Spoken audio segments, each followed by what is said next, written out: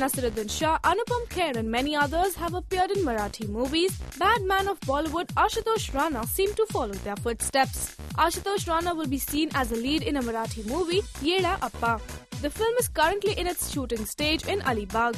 Ashutosh plays a role of a lunatic murderer. The film also stars Reema Lagoo, Kishori Shahane, Satish and Aniket Vishwasrao in the cast.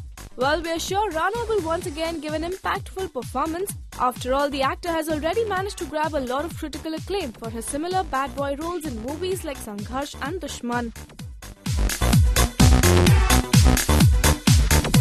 This is Pradhan for Rajshri.com.